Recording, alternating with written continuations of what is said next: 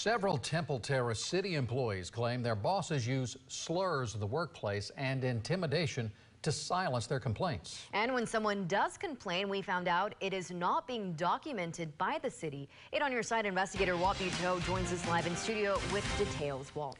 An 8 on your side public records request uncovered a controversy involving a Temple Terrace city director. But as we look deeper, we discovered she fired back at the city after a complaint against her, claiming other managers don't even get a slap on the wrist for inappropriate behavior.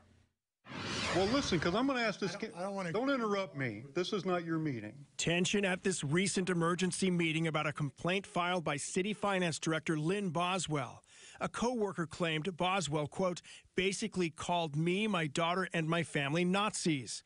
Boswell later apologized to the employee and then filed a complaint of her own about disparate treatment, claiming she was treated differently than other directors who made inappropriate comments. That city investigation revealed a number of other complaints from city employees. Jimmy Williams claims when he tried to complain about his boss bullying him, a lot of employees are intimidated and using slurs to reference coworkers and residents. City manager Charles Stevenson told him not to go to human resources. Williams tells me after he was terminated, there was no paper trail of his complaints. They say they don't remember anything and they never had paperwork saying that we did anything. They trash it. That's what they normally do. They trash documents. Williams is one of several current and former Temple Terrace city employees who've contacted us claiming their bosses use intimidation to manage them.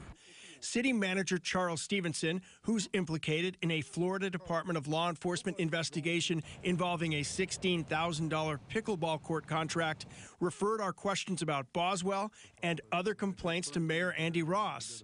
Ross tells me the complaints that mm-hmm. surfaced mm-hmm. during the Boswell case were difficult to verify due to a lack of documentation. If that bullying is still going on, what do you do now? Well, the council needs to decide what we're going to do moving forward and what procedures we're going to put in place to, to make sure that we do have documentation in the future.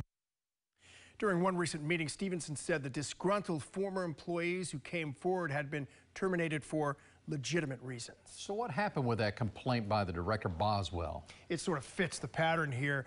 It was concluded that her case did not involve disparate treatment because there was no documentation about complaints against other city directors. And again, that's something the city hopes to repair in the near future. All right. Thank you, Walt. Okay. If you have something you'd like Walt to investigate, you can call the 8 on your side helpline, the number 1 800 338 0808.